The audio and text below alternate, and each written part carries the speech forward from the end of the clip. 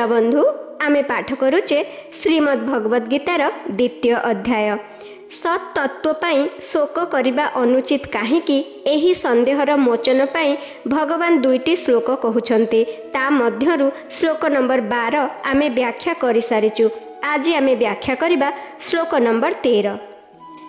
ଦେହିନୋସ୍ମିନ୍ ଯଥା ଦେହେ କୌମାରଂ ଦେହାନ୍ତର ପ୍ରାପ୍ତି ଧୀରସ୍ତତ୍ର ନ ମୁହତି ଏହାର ଆକ୍ଷରିକ ଅର୍ଥ ହେଲା ଦେହଧାରୀର ଏହି ମନୁଷ୍ୟ ଶରୀରରେ ଯେପରି ବାଲ୍ୟାବସ୍ଥା ଯୁବାବସ୍ଥା ଓ ବୃଦ୍ଧାବସ୍ଥା ଆସେ ଅନ୍ୟ ଶରୀରର ପ୍ରାପ୍ତି ସେହିପରି ହୁଏ। ସେଥିରେ ଧୀର ମନୁଷ୍ୟ ମୋହିତ ହୁଏ ନାହିଁ। ବ୍ୟାଖ୍ୟା ଦେହି ନସ୍ମିନ୍ ଯଥା ଦେହେ କୌମାରଂ ଯୌବନଂ ଜରା।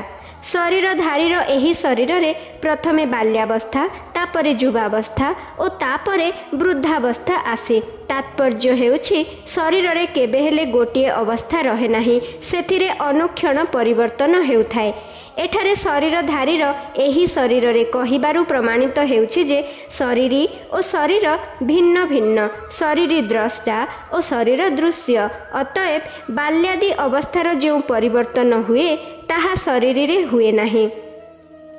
ତଥା ଦେହାନ୍ତର ପ୍ରାପ୍ତି ଯେପରି ଶରୀରର କୌମାର ଯୌବନ ଆଦି ଅବସ୍ଥା ହୁଏ ସେହିପରି ଦେହାନ୍ତର ହୁଏ ଅର୍ଥାତ୍ ଅନ୍ୟ ଶରୀରର ପ୍ରାପ୍ତି ହୁଏ। ସ୍ଥୂଳ ଶରୀର ବାଳକରୁ ଯୁବକ ଏବଂ ଯୁବକରୁ ବୃଦ୍ଧ ହେଲେ ଯେପରି ଅବସ୍ଥାର ପରିବର୍ତ୍ତନକୁ ନେଇ କୌଣସି ଶୋକ ହୁଏ ନାହିଁ ସେହିପରି ଶରୀର ଗୋଟିଏ ଶରୀରରୁ ଅନ୍ୟ ଶରୀରକୁ ଗଲେ ଏଥିରେ ଶୋକ କରିବା ଅନୁଚିତ। ଯେପରି ସ୍ଥୂଳ ଶରୀର ରହିବା ସଙ୍ଗେ ସଙ୍ଗେ କୌମାର ଯୌବନ ଆଦି ଅବସ୍ଥା ଆସେ ସେହିପରି ସୂକ୍ଷ୍ମ ଓ କାରଣ ଶରୀର ରହିବା ସଙ୍ଗେ ସଙ୍ଗେ ଦେହାନ୍ତର ପ୍ରାପ୍ତି ହୁଏ। ଅର୍ଥାତ୍ ବାଲ୍ୟ ଓ ଯୌବନ ଆଦି ଯେପରି ସ୍ଥୂଳ ଶରୀରର ଅବସ୍ଥା ସେହିପରି ଦେହାନ୍ତର ପ୍ରାପ୍ତି ସୂକ୍ଷ୍ମ ଓ କାରଣ ଶରୀରର ଅବସ୍ଥା। ସ୍ଥୂଳ ଶରୀର ରହିବା ସଙ୍ଗେ ସଙ୍ଗେ କୌମାର ଆଦି ଅବସ୍ଥାର ପରିବର୍ତ୍ତନ ହୁଏ।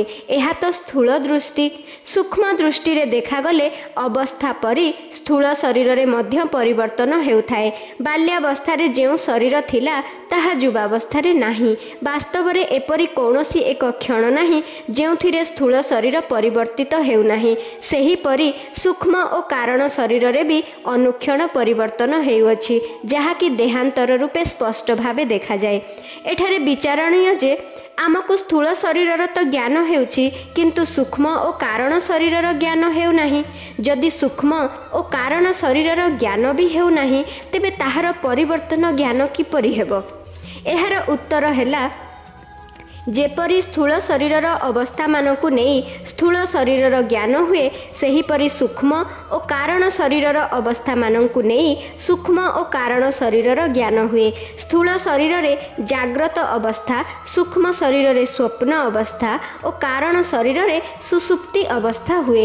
ବାଲ୍ୟାବସ୍ଥାରେ ମନୁଷ୍ୟ ସ୍ୱପ୍ନରେ ନିଜକୁ ବାଳକ ଦେଖେ ଯୁବାବସ୍ଥାରେ ସ୍ୱପ୍ନରେ ଯୁବକ ଦେଖେ ଆଉ ବୃଦ୍ଧାବସ୍ଥାରେ ସ୍ୱପ୍ନରେ ବୃଦ୍ଧ ଦେଖେ।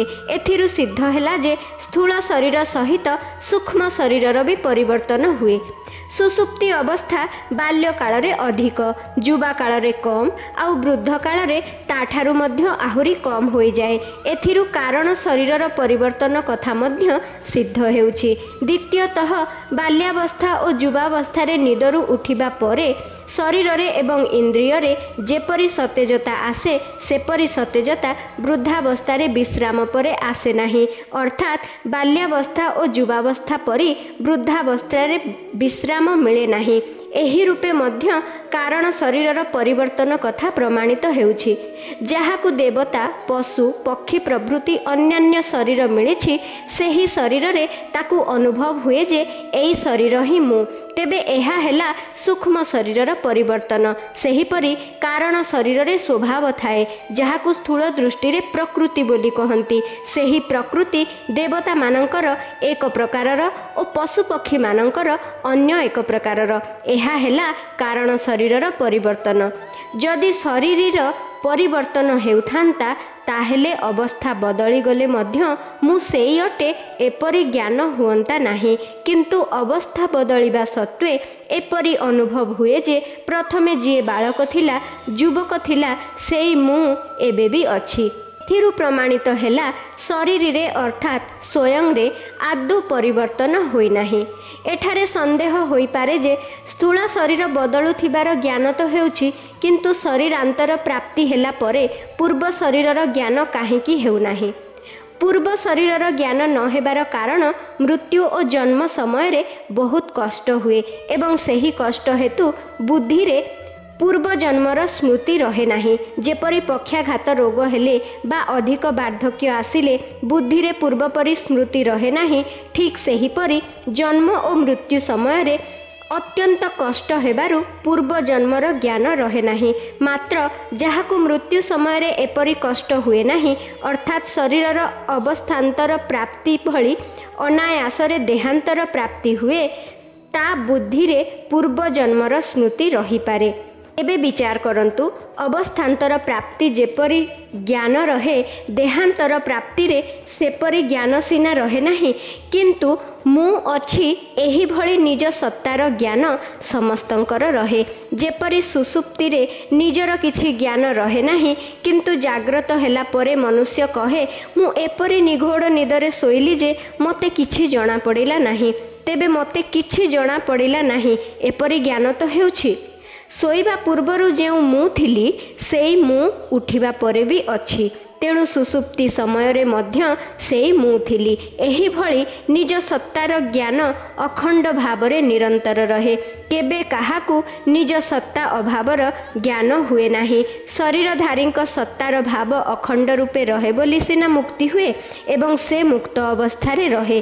ଜୀବନ ମୁକ୍ତ ଅବସ୍ଥାରେ ଯଦି ତାଙ୍କୁ ଦେହାନ୍ତରର ଜ୍ଞାନ ନ ହୁଏ ତଥାପି ସେ ଯେ ତିନି ଶରୀରରୁ ପୃଥକ୍ ଏ କଥାର ଅନୁଭବ ଅବଶ୍ୟ ହୁଏ। ଧୀରସ୍ତତ୍ର ନ ମୁହତି ଯାହାଙ୍କୁ ସତ୍ ଅସତ୍ର ବୋଧ ହୋଇଛି ସେ ହେଉଛନ୍ତି ଧୀର। ଏପରି ଧୀର ପୁରୁଷ ସେହି ବିଷୟରେ କେବେ ମୋହିତ ହୁଅନ୍ତି ନାହିଁ ତାଙ୍କର କେବେ ସନ୍ଦେହ ହୁଏ ନାହିଁ। ଏହାର ଅର୍ଥ ନୁହେଁ ଯେ ସେହି ଧୀର ପୁରୁଷଙ୍କୁ ଦେହାନ୍ତର ପ୍ରାପ୍ତି ହୁଏ। ଗୁଣ ସଙ୍ଗ ହିଁ ଉଚ୍ଚ ନିଚ ଯୋନିରେ ଜନ୍ମ ହେବାର କାରଣ ଏବଂ ଗୁଣରୁ ସମ୍ବନ୍ଧ ବିଚ୍ଛେଦ ହୋଇଥିବାରୁ ଧୀର ପୁରୁଷଙ୍କୁ ଦେହାନ୍ତର ପ୍ରାପ୍ତି ଆଦୌ ହୁଏ ନାହିଁ। ଏଠାରେ ତତ୍ର ପଦ ଦେହାନ୍ତର ପ୍ରାପ୍ତି ବିଷୟରେ ବ୍ୟବହାର କରାଯାଇ ନାହିଁ ବରଂ ଦେହ ଦେହି ବିଷୟରେ ବ୍ୟବହାର କରାଯାଇଛି।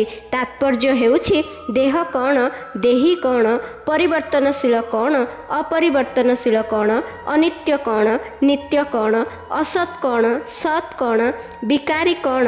ନିର୍ବିକାରୀ କ'ଣ? ଏହି ବିଷୟରେ ସେ ମୋହିତ ହୁଅନ୍ତି ନାହିଁ।